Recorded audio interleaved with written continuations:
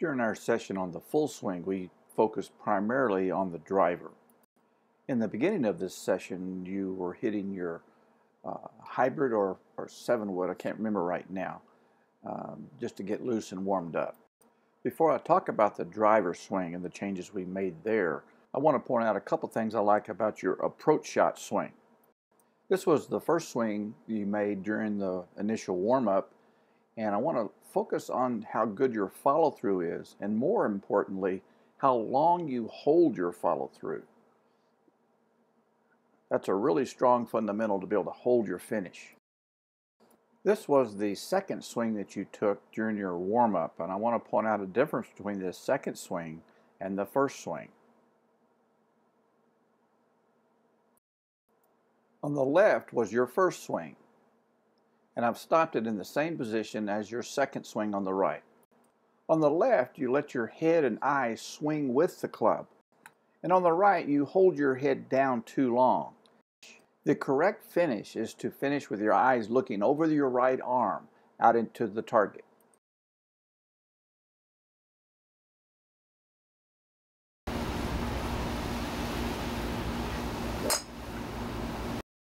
Here's one of your driver swings in which you had that good finish looking over your right arm. Very good.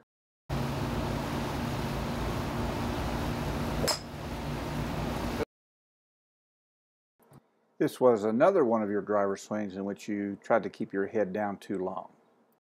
Your most natural and fundamentally sound swing will be the one where you just swing and finish with a nice pose. Let's experiment a little bit with this driver. I want you to uh, set up with the ball a little bit more to your left side. You have a tendency, here it is, this club was built and designed to rest on the ground just like that. You have a tendency to want to curl, okay?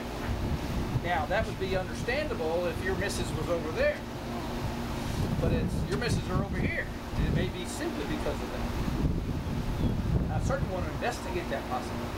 So I would rather you be able to look down and see that loft on the face and not try to make it a straight face. Okay?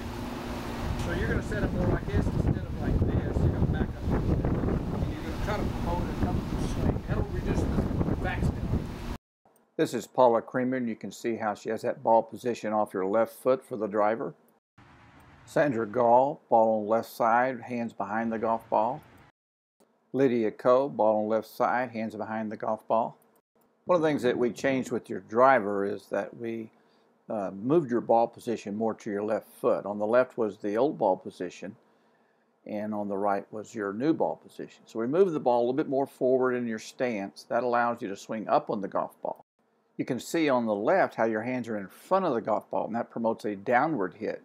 But on the right, your hands are behind the golf ball, promoting an upward swing.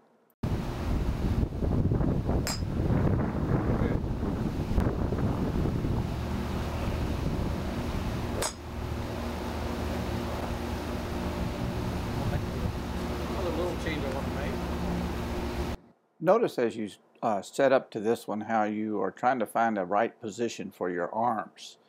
And you had a tendency to have bent elbows in your setup, but you started working on it on your own and you started feeling a little bit more extended in the arms, which is better.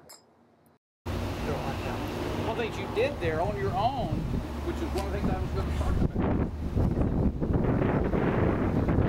So let's just continue to set up more dynamically with that extension. Now you can swing more aggressively through it. Just swish it that, like you're swatting a bean right there. There you go. Yeah. Sometimes you get a little tight. This is a good way to relax those arms.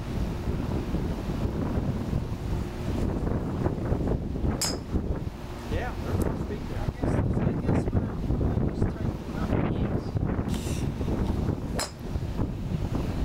That was a good one. So with the driver, the main thing I changed was your setup. I moved the ball more to your left foot. I wanted you to tee it higher. I wanted you to get your hands behind the golf ball. I wanted you to have a, a extension in your arms. Also, when you set up, I wanted you to make sure you let the driver heads lay flat on the ground so that the loft of the club is exposed and you're not curling it over. And then the only thing we did with the swing is free it up and had you do some of those uh, swish drills, so because sometimes you did get a little tight. Uh, on the finish, I want you to continue to finish with that nice pose, eyes looking over the right arm.